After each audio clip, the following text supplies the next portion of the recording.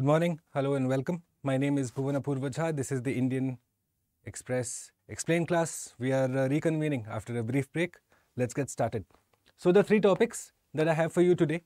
Number one, first we'll go to Iceland and we'll uh, see the the news behind say swarm earthquakes. Okay, now swarm earthquakes are being observed, which means low intensity, shallow earthquakes being observed. Many of them, in fact, uh, thousands of them have been observed in a short span of time. What is it leading to? What does it mean? You know, if you have been going through the news recently, you must have seen that uh, there is expectation of volcanic activity in Iceland. So, what's the theory behind that? What's the reason behind that? We'll seek to understand that first. Number one. Number two. Thereafter, we'll understand. Well, today is Janjatiya Gaurav Divas. The Prime Minister is in uh, Jharkhand today. Okay, and therein he will be launching the PM PVTG mission, the particularly vulnerable tribal groups mission. So on this day, we'll first go ahead and uh, relook and uh, revise essentially Bhagwan Birsa Munda's immense contribution in the freedom struggle of India, the rich history of India. Okay, and thereafter take a look at say the PM PVTG mission. And number three, APEC. Okay, Xi Jinping and uh, Joe Biden are meeting after a long, long time. How will how will that change? Will that change anything at all? That's that's for the future. We are not interested in that. However, we'll seek to understand the forum at which they are meeting, which is the Asia Pacific Economic Cooperation APEC. ठीक है Author Shivika, Bulbul, Ruchira, Coder, Sheshmani. Good morning, guys, all of you. Thank you for joining. Ruchira, my Diwali was very nice. Thanks for asking. Okay, let's get started. If you have any particular questions related to what we discuss here today, you reach out to me on my uh, Telegram channel that goes by the name of Bhuvan Study IQ. Okay, first topic Iceland volcanoes. Volcanism in Iceland. What is happening? What's the impact going to be? Okay, so it's under a state of emergency. This is for you to know right now. This is the background of the uh, news that we are looking to cover. But more importantly, from the examination perspective, shallow earthquakes are being registered there. Okay, which means that something is happening very close to the crust, very close to the surface of the land, which is what is telling you that there is shallow earthquakes.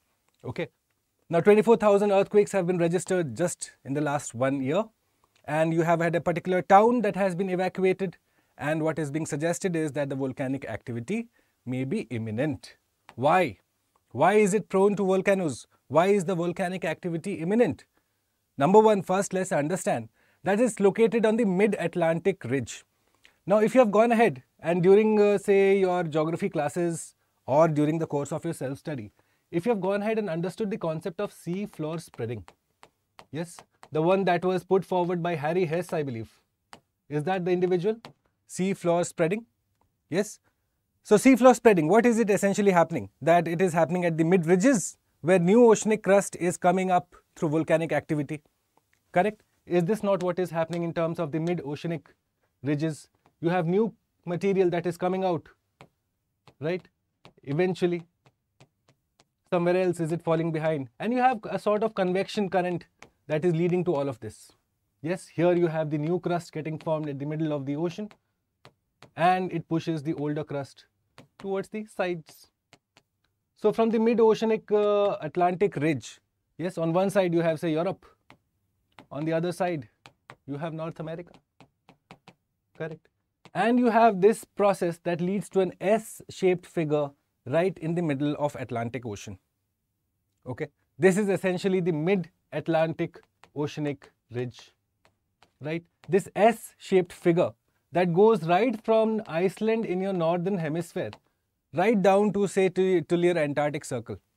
Okay, this entire S-shaped almost trench-like formation that you found, not trench, a ridge-like formation that you find there. Yes, this is your mid-Atlantic or mid-oceanic ridge. And the northern part of that is Iceland.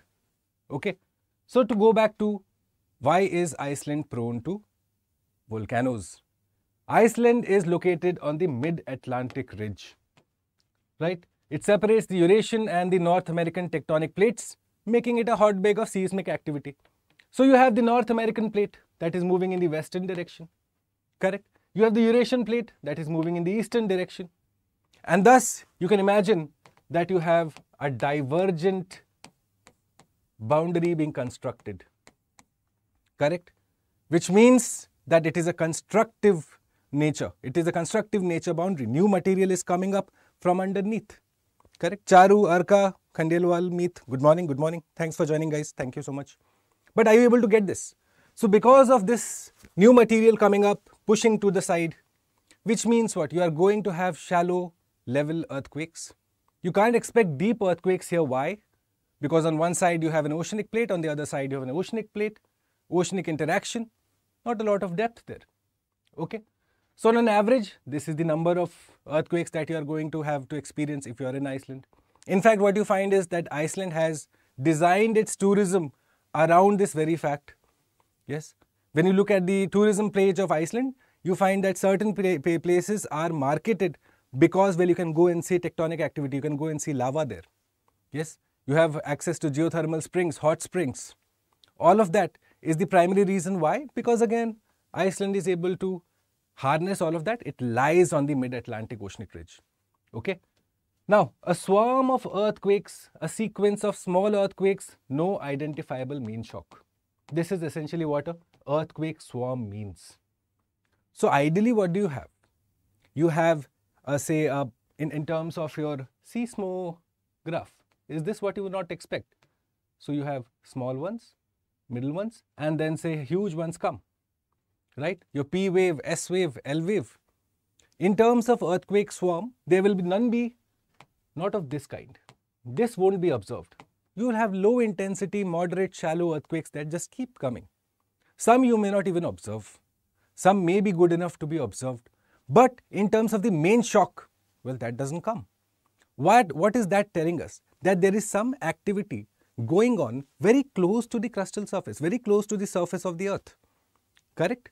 So, a swarm of earthquake means you do not have any identifiable main shock.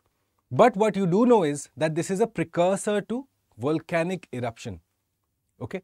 The movement of magma close to the earth's surface exerts force. Now, the closer it gets, the more likely an eruption and thus the more frequent the earthquake swarms. This is what essentially is happening. You have new material that wants to come out and this is, they say, the surface. It is now just looking for a zone of weakness to go ahead and get out from. It is trying to adjust, go sidewards, finding space, seeking to achieve stability. And in that manner, it is putting a lot of force on the crust overneath, over, over it, right? And this is what is happening. Because of it looking to achieve stability by looking at a zone of weakness, you know, and then eventually finding that weakness and then coming out through, this is what is causing the earthquake swarm. So now how do you go ahead and figure out where the earthquake will happen. Is there a way you can predict that yes, this is where say the volcanic activity is most likely to happen? Yes, you can do that too to a certain extent. How do you do that? Well, you this red line that you see, my friends. Yes. What essentially is this red line? Let's understand that now. Okay.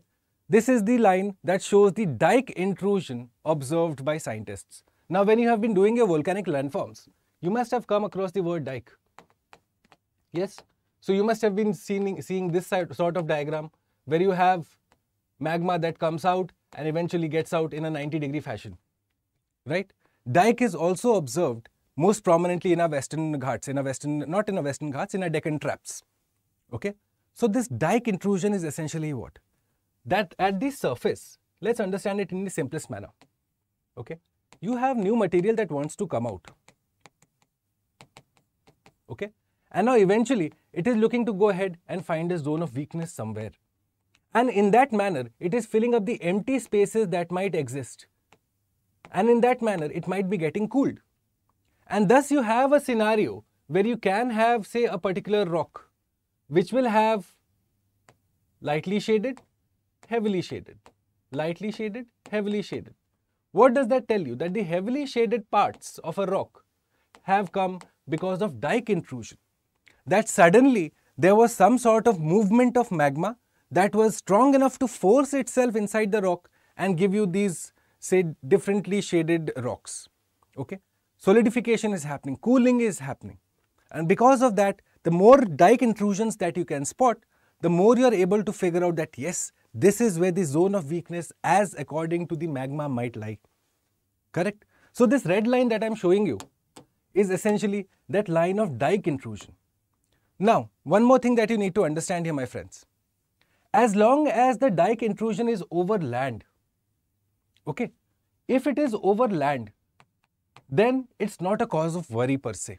Okay, it is obviously a cause of worry because it's volcano, obviously. But in terms of the larger impact, it will be limited. Okay, why? Because just a few years ago, you had Iceland that had a huge volcanic activity. Another volcano had erupted. But that time you found that if you are following the news, and I was certainly, what was observed was that this particular volcano, right, it had a glacier over here. And thus, you had high intensity hot magma come out.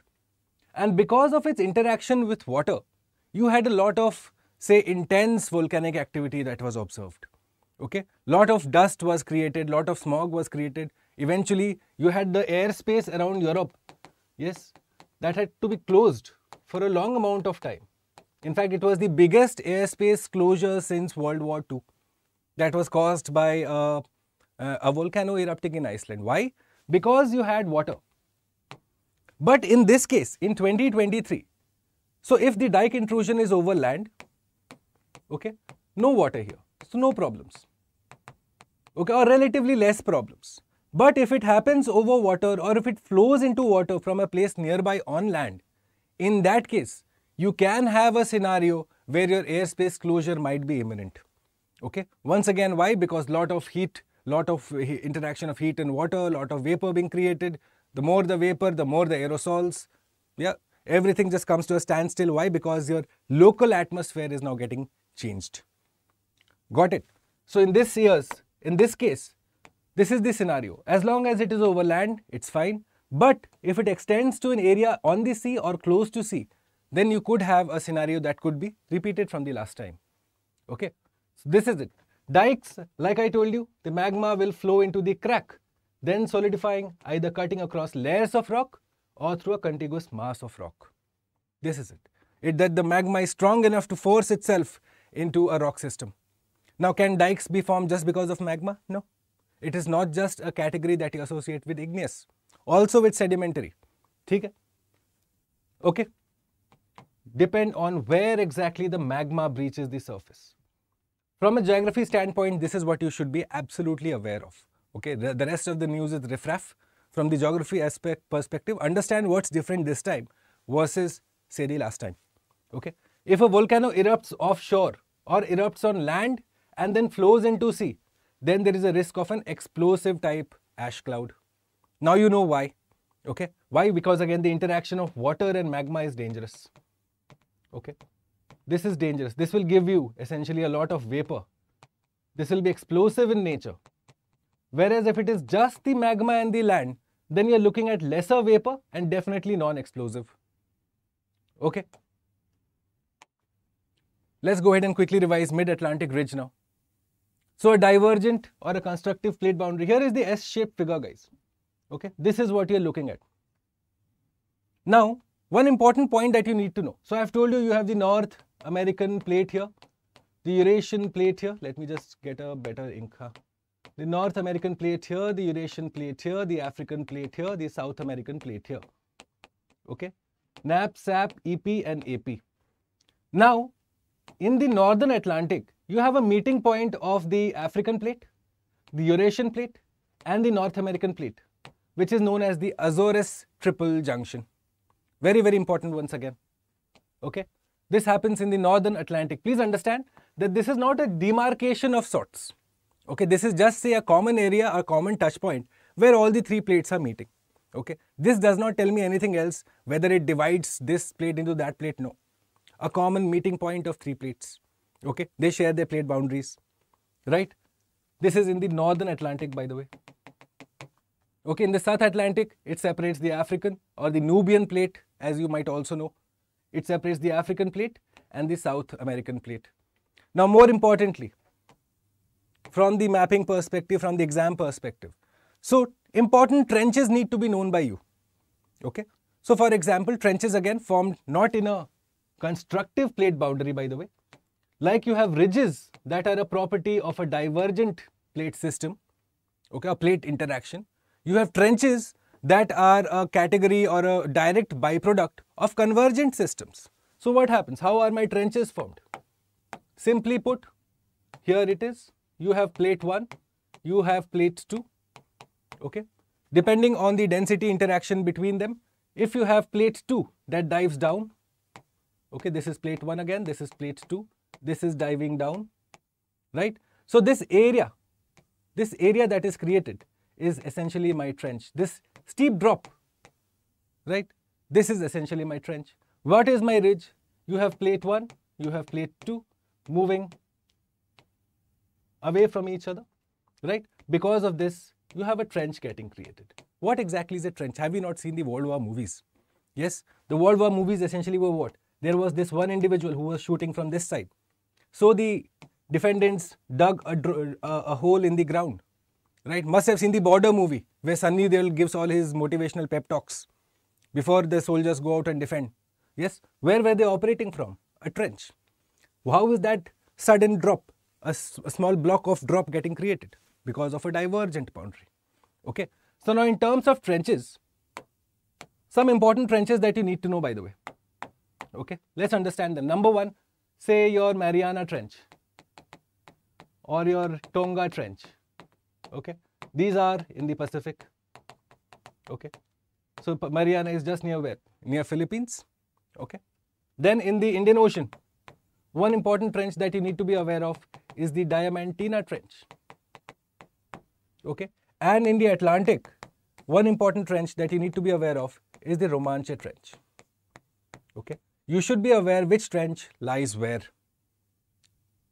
Okay. Mariana Trench, Tonga Trench, Diamantina Trench, Romanche Trench. For those of you who are watching me live, quick question. Tell me where do you find the Carlsberg Ridge? Let's see. How many of you have done your geography seriously? Tell me where do you find the Carlsberg Ridge in the chat box right now. Okay, let's go forward. Now, one important thing that I want you to focus on. So, we have done the geography bit of say volcanism, volcanoes. Let's understand the environment bit also very quickly. What is the climate forcing of a volcano? Climate forcing matlab the way it affects my climate. How does it affect my climate in the short term? How does it affect my climate in the long term? Okay. So now in the short term, what is being observed is this uh, a particular volcano in Iceland. Okay. It erupted in the year 1783. Now, it eruption was so high, right, that you had global cooling. You had a global cooling of close to 1.95 uh, degrees centigrade for two years. So, what does that tell me? That something is coming out from my volcanoes that causes cooling to happen. Okay. This is the short term climate forcing of a volcano. The long term climate forcing we'll seek to understand that too. How does it affect my climate in the long run? Okay. So what, what are the primary eruptions that come out of a volcano? Volcanic gas, dust, cloud, pyroclastic material, all of that is obviously there. But most importantly is your sulfur. Okay. You are looking at sulfur.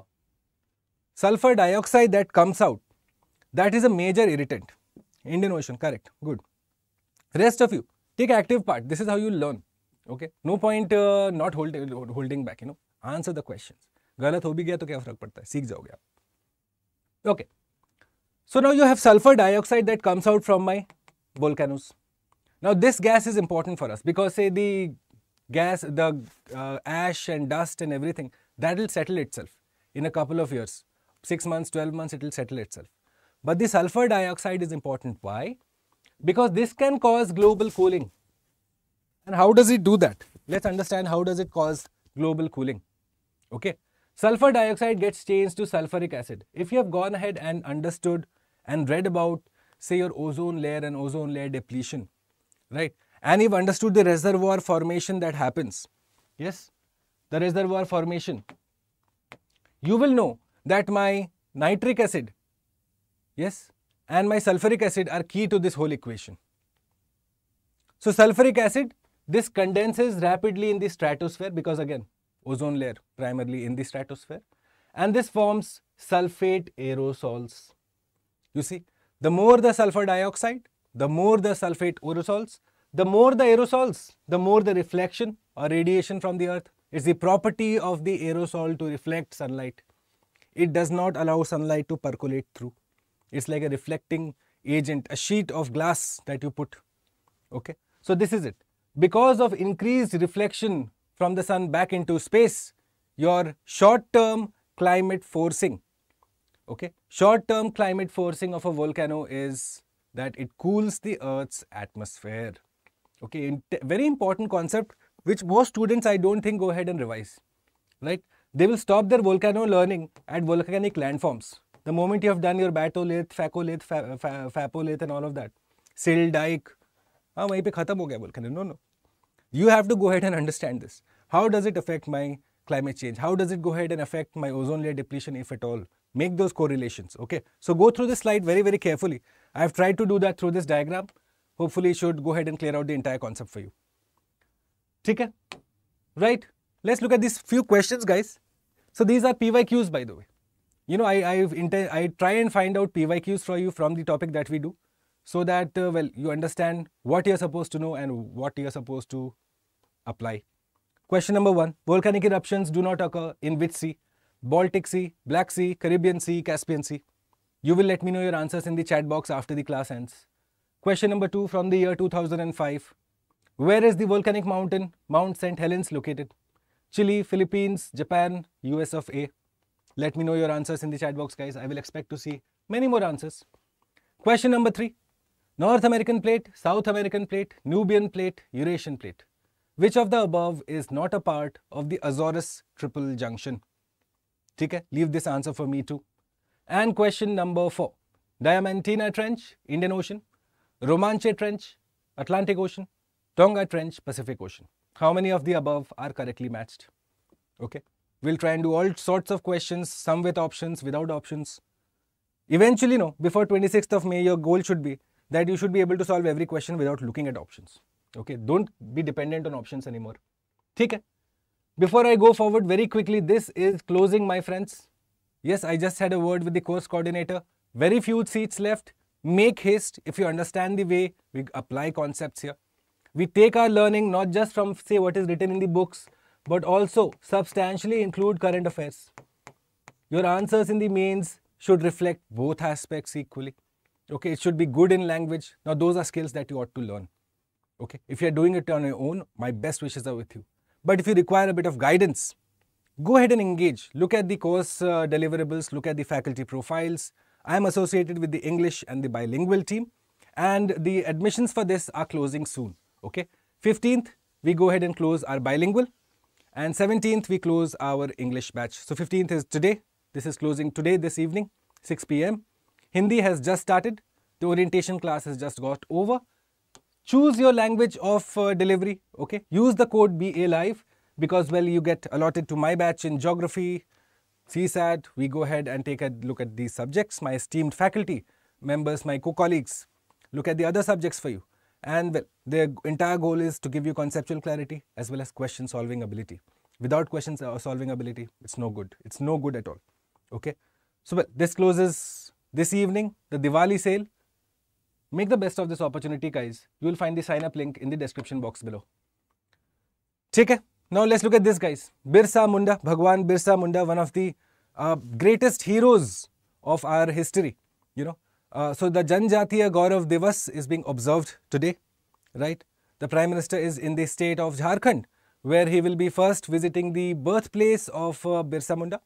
Thereafter, he will be engaging in a, a, a, government function there where he will be releasing, in fact, first time ever, the Prime Minister's uh, particularly vulnerable tribal groups mission will be announced today. Okay, so let's look at Bhagwan Birsa Munda and then let's look at the PM PVTG mission, shall we? Okay, so uh, Bhagwan Birsa Munda first. Birsa Munda also known as Dharti Aba. Now what is Dharti Aba? The father of the father of the earth. Why was he called so? What is the rationale? You know, very simple. Here was this person who stood up for the rights of the people, the tribal people, the people who actually owned on the land, who, who, who were part of the land. You know, you cannot have land and people separate from each other. And the Britishers tried to do this. They failed to recognize that the land is intrinsically linked to the social fabric of the country and any chedchhad there will have some effect from the public side. Okay. This was not known to them. They were ignorant in their own way, in their own sense. And because of their policies, here was this individual who stood up to do what was correct. Okay, let's look at what he did essentially. He mobilized the tribal community against the British and also forced them to introduce laws protecting the land rights of the tribal. Essentially boiling down to this. Yes, it was to do with land and ownership of land. Right? So, to counter effects of the missionaries to convert tribals, obviously that was also another major issue with the British government that is often, say, not spoken about enough or understood enough. But then this this uh, conversion uh, focus that was there from the Britishers side, that was getting patronage from the Britishers. Okay, this was also countered by Bhagwan Birsa Munda. He had his own faith, Birsait. Now the Ulgulan or the Great Tumult aimed at establishing Munda Raj by driving out the British government. So let's understand Ulgulan or Munda Rebellion. Three causes. Okay, let's break it down. British colonizers with their policies, who went ahead and created another subclass of zamindars. Okay, suddenly the zamindars were this sort of middlemen between the Britishers and the people who were part of the land. They started to fleece the people underneath, below. Yes, if it was like a food chain, if you have to understand, the Britishers were the apex predators, and the people, the tribal people, were right at the base of it. Okay, so this caused a lot of obviously anger. Okay, Mundas practiced the Khuntkati system, where the whole clan jointly owned the land fit for cultivation. This is it. They not just affected the land, but also the social fabric, which is always intrinsically linked in this country. You cannot do chhedchhad there. Okay. So the non-tribal people started to settle in the land of Munda and became Jagirdars and Zamindars. They were known as Dikus, by the way. Okay. They were known as Dikus.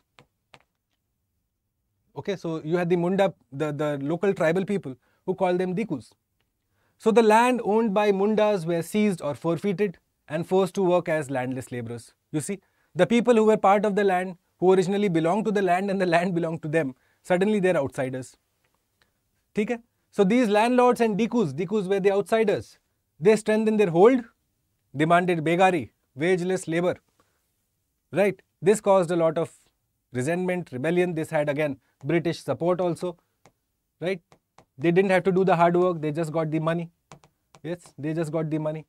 So eventually what happened? The rebellion was essentially a revivalist movement. It was a movement for going back to say the tribal pride and heritage that they were eventually the, the owners of the land. They had a first claim over the land.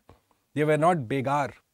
You know, it was almost a movement for self-respect as much as it was for say land rights it was for uh, protecting the social order, it was also for going ahead and engaging in self-determination. You know, one of the first acts of self-determination in pre-independent India, right? So the rebellion was a revivalist movement, also a movement for self-determination, right? And eventually, you had Birsa Munda, Bhagwan Birsa Munda, who led through this entire campaign. Okay? Now let's look at the PM PVTG mission that's going to be announced in Jharkhand. By the way, Jharkhand also came into effect today only. Yes, when it when when the state was announced back in 2000, I believe. Yes, it came into effect. It came to be known as a state on this very date. Such is the reverence for Bhagwan Birsa Munda. And the story of Jharkhand and Bhagwan Birsa Munda is intrinsically linked. You cannot separate it. Okay. So PM PVTG mission has been asked previously, by the way. Okay, 75 PVTGs in 18 states and union territories. Essentially, you have say tribal population. Okay, let's understand it in the simplest manner. Why complicate something as simple as maths? Okay, so you have a tribal population in the country. Now, as per the census of 2011, right, you have around say 10.4 crores. Okay, that are part of the uh, say uh, uh, population. Okay, roughly what around say 8.6 Uh, or 7 percent, 8.6 percent of the country's population are STs. Okay. Now, what you find is that the highest population of STs, highest you find is in Madhya Pradesh. Okay. Highest concentration of scheduled tribes in Madhya Pradesh. Then you have Maharashtra. Then you have Odisha and Rajasthan. Maharashtra, Odisha and Rajasthan. Okay, let's understand few basic facts before I tell you about PVTGs. Okay. Now, in terms of the child sex ratio, okay, let's look at few indicators also, why not? In terms of child sex ratio, what has been observed is that, well, it has been decreasing, okay, it has been decreasing. You also find that the literacy rate marginally improved, so, you know, in terms of say their government of India outreach for this particular subgroup, one particular vulnerable group is the PVTGs, the particularly vulnerable tribal groups who are more at risk because again they are, they are people who are say normally say uh, rural. They have a heritage that is linked to the forests and often the state fails to reach them sufficiently which is why around 28 lakh people of different tribes in the country currently come under the particularly vulnerable tribal groups 75 of them odisha has the highest concentration of pvtgs okay this is one concept that you should be aware of the highest ST population is in Madhya Pradesh, but the highest PVTG number is in Odisha. Okay? They are scattered, remote, inaccessible habitations, right? So now what is what is being looked at? Basic facilities, firstly. Okay. For this entire group of 75 tribal groups in the country, roads, water, okay, housing, electricity, sanitation, health, nutrition, all of that is first looking to be achieved saturation. The government has said we should achieve saturation, which means there should be 100% reach, 100% reach of the state in so far as these particular parameters to the particular tri tribal group is concerned. At the same time, more specific areas, well, health-wise, PMJ, sickle cell disease, TB, immunization, Surakshit Matritva Yojana, Matru Vandana Yojana, Poshan Abhiyan, right? all of that again 100% saturation has to be ensured okay this is the pvtg mission that the prime minister will be announcing at 9:30 later this morning in jharkhand on the birth anniversary of one of the greatest sons of india bhagwan birsa munda okay let's understand the pvtgs now 75 centrally recognized pvtgs in the country Dhebar commission very very important related to the formation of pvtgs okay odisha has the highest number and these are the criterion. So you have say around 10 crore people no, who are part of the scheduled tribes population in the country, right? So you have n number of tribes. How do you figure out that a particular tribe is a PVTG or not? Is it that you know some particular individual sits and then decides arbitrarily? No. There has to be some scientific logic behind it. And the logic is this. Existence of pre-agricultural practices, which means say industrialized agriculture or mechanized agriculture has not reached there. Okay. Hunting and gathering is still being practiced. Zero or negative population growth. Yes, if that is also being observed, another area of concern. And low levels of literacy, which is why I showed you the particular, uh, say, uh, according to census 2011, what were being observed. Okay. So if you have the a particular tribe that fulfills these four criterias, okay, one or more of these criterias, well, you are going to be categorized as a PVTG. Go ahead and answer these questions for me, guys. Which of the above is not a part of the Chota Nagpur plateau? Okay. By the way, interesting story. Why is Chota Nagpur called Chota Nagpur? Huh? Have you ever thought of this? Nagpur is in Maharashtra, Chota Nagpur is somewhere else. What is the reason? So you had a, a, a particular kingdom, okay, Nagpur, uh, Nagu Vanshis that were part of the Chota Nagpur plateau. They ruled over that area, okay, and the Chota is that word for Chuita. This is the place where they had their fort. Okay. Nagur Vanshis. And this eventually came to be known as Chota Nagpur. It was essentially Chuita Nagpur. So, Koel, Subarna Rekha, Barak, Barakar. Which of the above is not a part of the Chota Nagpur plateau? One only, two only, three only, four only, let me know. And question number six, Bihar, West Bengal, Chhattisgarh, Odisha. How many of the above are part of the Chota Nagpur plateau? Okay, let's see your mapping. Before you go about solving the entire map of the world, let's look at your India map knowledge first. Okay, let me know your answers in the comment box. Six questions already. Right, before I go on to the last topic, very quickly, the optional is closing. The batches are closing. The Diwali sale is closing tomorrow. Okay, the batches are beginning in the subjects PSIR, Sociology, Geography, Anthro, Pub Ad, history, mathematics, philosophy, and Hindi Sahitya, Hindi literature. Okay. And if these are your subjects, quickly go ahead and sign up for them. Never before have the prices been this low. So it is to your benefit. Okay. And use the code BA Live because then again you get some extra discount, some Diwali gift from my side to you. Right. And, and uh, hope to see many of you part of these subjects, part of this course. Make sure, make you use, use of this opportunity. You know, eventually the goal is to achieve maximum deliverables in the best time possible with the least amount of kharcha from your side. Correct? Okay. Right. To the last topic for the morning. Asia Pacific Economic Cooperation President Xi Jinping and Joe Biden are meeting. Okay. So the APEC, Asia Pacific Economic Cooperation, a regional economic forum that was established well, in 1989. So it's been some time. Okay, it's been some time. But more importantly, focus on this. It's an economic forum. Okay, what does that tell me? That eventually countries are not the focus area here, economies are the focus area here. Okay, you'll understand this. See, the 21 members of APEC are termed economies, not countries. Why? Because you have entities like Taiwan and Hong Kong that come and attend the APEC meeting as independent members. Now imagine if Taiwan proclaimed to be an independent country, President Xi Jinping would not be very happy, right? Which is why the APEC categorizes itself as an economic forum which engages in meeting of economies. And what do they look to do? They look to go ahead and integrate Asia and Pacific together, okay, economically.